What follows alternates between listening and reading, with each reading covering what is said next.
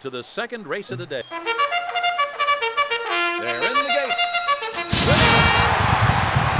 Horn shoots right to the front, followed by Dave's Glory and Dream Hunter.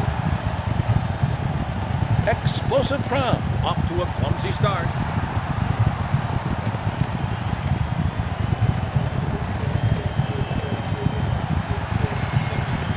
In the early going, it's Dream Hunter, Lightning Rocket, Dave's Glory, Ice Bolt, Jade Ranger, Scottish Girl, Corn, American Mare, Moonchild, Explosive Crown.